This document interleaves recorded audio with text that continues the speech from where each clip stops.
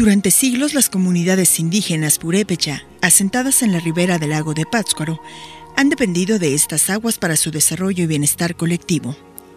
En la actualidad, la contaminación, deterioro ecológico y la fragmentación social han ocasionado la marginación social y la pobreza extrema, para lo cual el investigador Arturo Chacón lleva a cabo el proyecto Desarrollo Sustentable en las Comunidades Indígenas Purépecha de la Ribera del Lago de Pátzcuaro. Eh, junto con un grupo de universitarios que conforman una asociación civil denominado Panorama Ambiental, el INIRENA y Panorama Ambiental en un proyecto conjunto, compitieron para poder eh, encontrar financiamiento del Tratado de Libre Comercio de América del Norte. Con este apoyo que se hizo de manera este, excepcional, se están realizando estudios en las tres islas del lago de Páscuaro, Yunuen, Tecuén y Orandén de Morelos, para poder realizar acciones de rescate del pez blanco a través del cultivo en condiciones semicontroladas.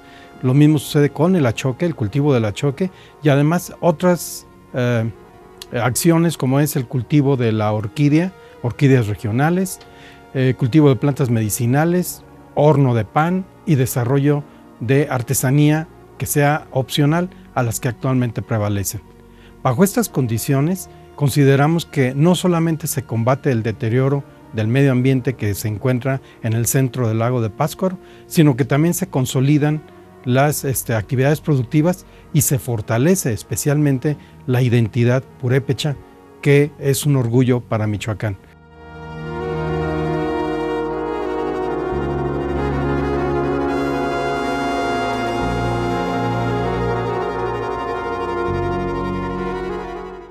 Los resultados del proyecto tienen como finalidad la organización social, fortalecer la identidad indígena y consolidar la autonomía económica mediante el aprovechamiento responsable del ecosistema de humedal.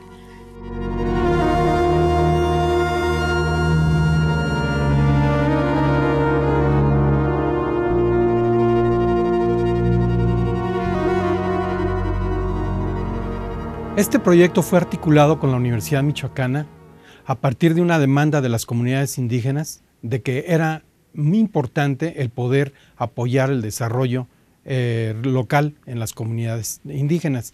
Para esto también el INIRENA tiene especialidad en lo que son los estudios de ordenamiento ecológico territorial.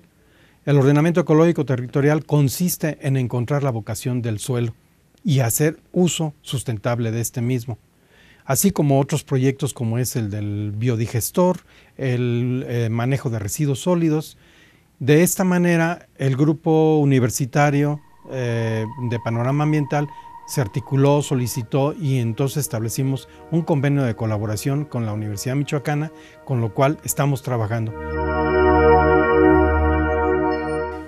La conservación biológica del pez blanco y el desarrollo de proyectos productivos compatibles con la realidad regional mediante el ordenamiento ecológico, la capacitación productiva, la equidad de género y el fortalecimiento de la organización indígena.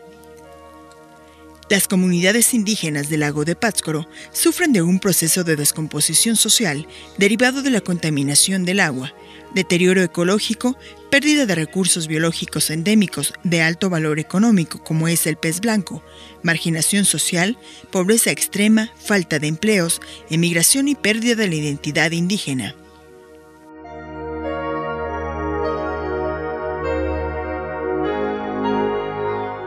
Por otro lado, a finales de este año eh, estamos planeando realizar el segundo estudio de batimetría en el lago de Pátzcuaro, es decir, el estudio de profundidades.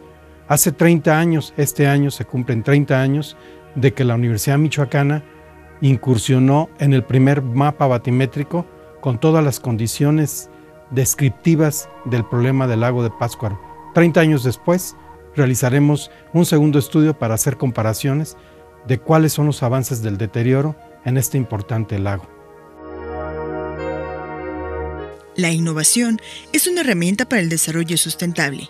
No se busca imponer un sistema, costumbres o mecanismos. Se pretende adaptar las propuestas de solución durante el proceso, de acuerdo con las necesidades y la concordancia del proyecto, procurando el bienestar común y una mejor calidad de vida para las personas de las comunidades indígenas, impulsando la importancia de la cultura purépecha.